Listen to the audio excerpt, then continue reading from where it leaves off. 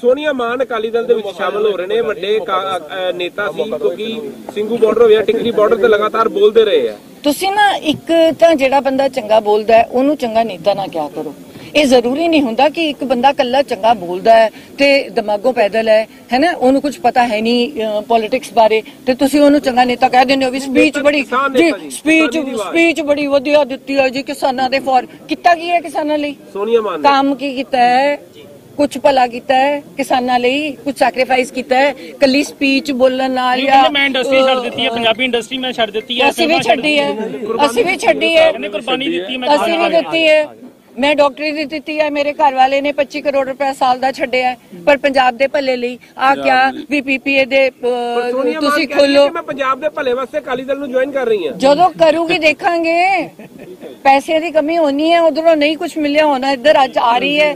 ਪਰ ਇੱਥੇ ਕੁਝ ਨਹੀਂ ਬਣਨ ਵਾਲਾ। ਜੇ ਮੇਰੇ ਵੱਲੋਂ ਉਹਨਾਂ ਤੱਕ ਸਲਾਹ ਪਹੁੰਚਾ ਸਕੋ ਤਾਂ ਪਹੁੰਚਾ ਦਿਓ। ਦਾ ਕਿ ਗਲਤੀ ਨਾ ਕਰੀ। ਅਕਾਲੀ ਦਲ ਦਾ ਫਿਊਚਰ ਤੁਹਾਨੂੰ ਦਿਖ ਰਿਹਾ ਉਹਨਾਂ ਦੀਆਂ ਰੈਲੀਆਂ ਦੇ ਵਿੱਚ। ਪਿਛਲੀਆਂ 75% ਕੁਰਸੀਆਂ ਖਾਲੀ ਹੁੰਦੀਆਂ ਨੇ। ਜਿਹੜੇ ਬੱਸਾਂ ਚੋਂ ਬੰਦੇ ਨਿਕਲਦੇ ਨੇ ਉਹਨਾਂ ਦੇ ਆ ਕੇ ਪਿੰਡ ਵਾਲੇ ਡੰਗਾ ਮਾਰ ਰਹੇ ਨੇ। ਵੀ ਤੁਸੀਂ ਤੁਸੀਂ ਗਏ ਕਿਵੇਂ ਉਹਨਾਂ ਦੀ ਰੈਲੀ ਤੇ? ਸਾਲੇ ਬੋਤਲਾਂ ਪਿੱਛੇ ਵਿਕ ਗਏ। ਉਹਨਾਂ ਨੂੰ ਡਾਂਗਾ ਪੈ ਰਹੀਆਂ। ਤੁਸੀਂ ਵੀ ਸੋਸ਼ਲ ਮੀਡੀਆ ਦੇਖ ਲਿਓ ਮੈਂ ਵੀ ਸੋਸ਼ਲ ਮੀਡੀਆ ਦੇਖ ਲਿਆ